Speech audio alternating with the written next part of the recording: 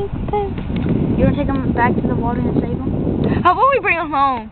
No, because then he'll die. We'll put him in water. But he needs muddy and whatnot.